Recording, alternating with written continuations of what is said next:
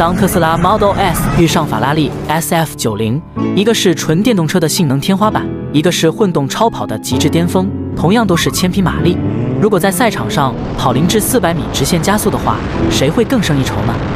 法拉利 SF90 可以说是法拉利品牌有史以来最快的量产车型。它搭载一台3.9升双涡轮增压 V8 发动机，该系列发动机已连续四年荣获国际年度引擎大奖，创下了无可匹敌的获奖记录。很多人对于当下超跑纷纷取消 V12 发动机颇有微词，但在这台 SF90 身上，V8 发动机与三台电动机的配合，却带来了超越 V12 发动机的性能表现。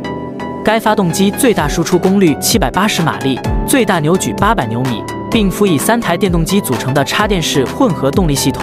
使得整车的最大功率达到了史诗级的一千马力，峰值扭矩则达到了九百牛米，零百加速时间仅需二点五秒，极速更是超过了三百四十公里每小时。无论数据还是在赛道上的圈速表现，都比自家旗舰车型拉法还要快。虽说日前特斯拉的争议不断。不过话说回来，特斯拉 Model S 这款车确实具备了很多人所需要的特点，可以说是各方面都很出色，各方面都展现出了非常高的水准。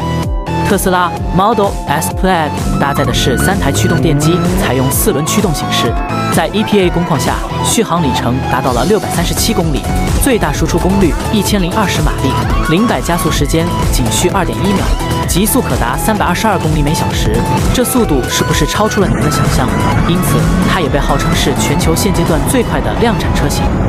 说到这里，肯定有人会跳出来说，特斯拉 Model S 加速这么快，刹车刹得住吗？不过总的来看，特斯拉 Model S 的动力参数可以说是比法拉利 SF90 略胜一筹。这也不难看出，如今随着纯电新能源汽车的问世，燃油车的加速优势就一去不复返了。